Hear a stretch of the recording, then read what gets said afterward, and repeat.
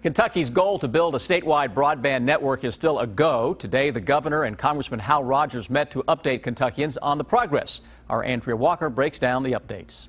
Today, Governor Matt Bevin admitted that the Kentucky Wired project is running slightly behind schedule, but he assured the crowd gathered here at the Capitol that the project has the full support of his administration and it will be completed. Unfortunately, Kentucky ranks 47th in the country in broadband speeds and capacity, which is why Governor Bevin and Congressman Hal Rogers are so passionate about the Kentucky Wired project, a statewide fiber optic network which will deliver reliable and affordable internet to communities across the state. Both men believe the project can transform the state with an emphasis on rural communities in eastern Kentucky. This is historic. It's big. It's complicated.